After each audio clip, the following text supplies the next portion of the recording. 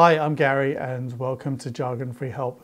In this tutorial I want to show you how you can use a function called len, which is short for length, to determine how many characters are in a cell. So how many letters, numbers or combination of them.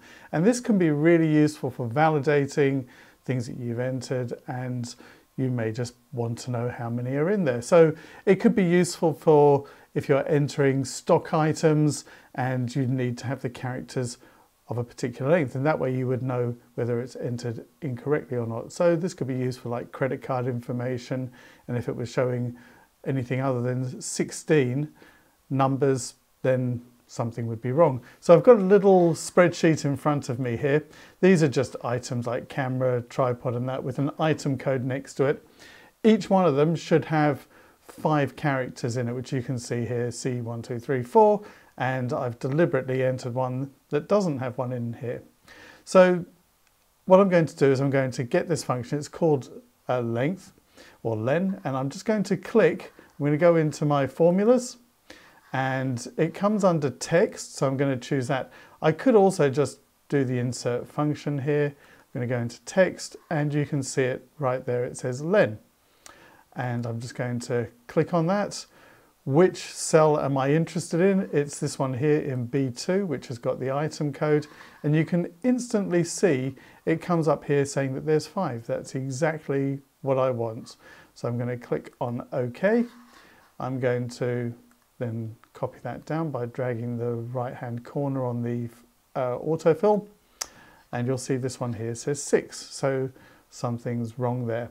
And there are ways that I could highlight that so that I know that that is incorrect.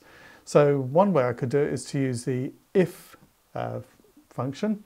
I'm just going to put that into this column here.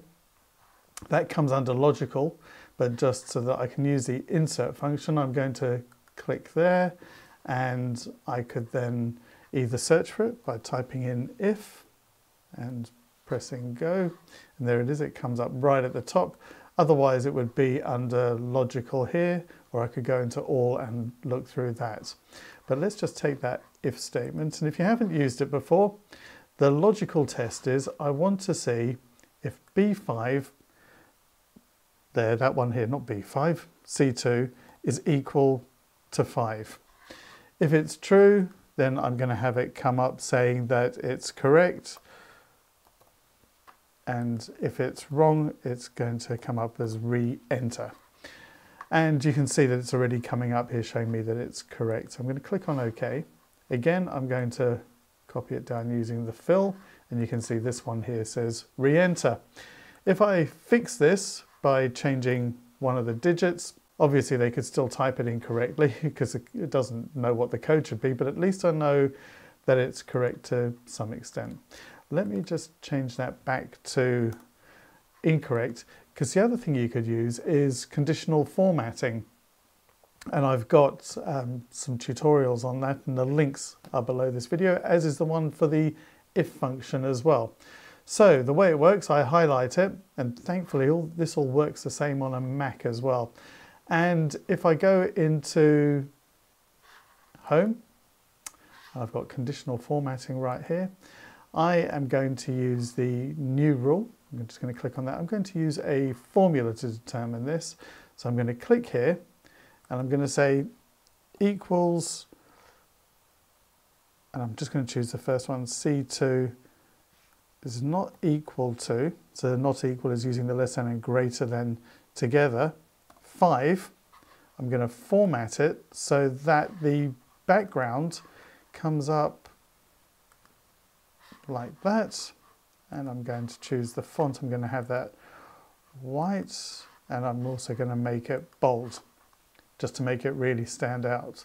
So if I click on OK and OK again, you can see it's now highlighting that I instantly can see here that it's incorrect. So these are, if I change it, it turns it back to just being normal.